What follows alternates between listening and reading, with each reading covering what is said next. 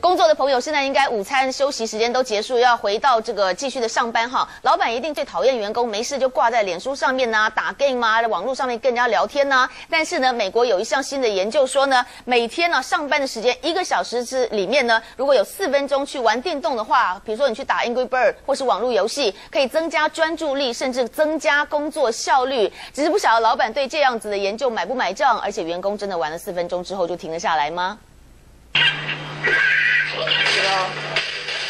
起，撞毁一地坏弹珠，愤怒鸟舒压指数五颗星。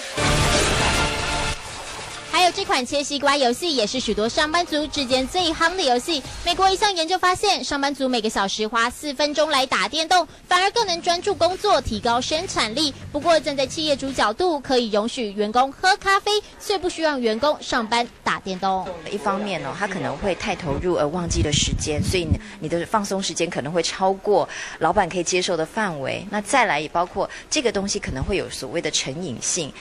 就是怕收薪收不回来，甚至有公司贴出公告，不准员工在上班时间上社群网站种菜。其实精神科医师建议，玩电动效果跟到茶水间喝咖啡、看八卦杂志效果是一样的，主要就是要转移注意力。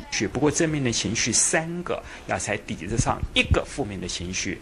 也就是说，压力越大的工作，需要的时间跟快乐活动可能就要更多。一般上班族一个小时需要休息十分钟，但压力大的像是记者或是业务，需要休息的时间可能就更长，才能在工作岗位上达到更有效率的成绩。中天新闻正人宗杨慧文台北采访报道。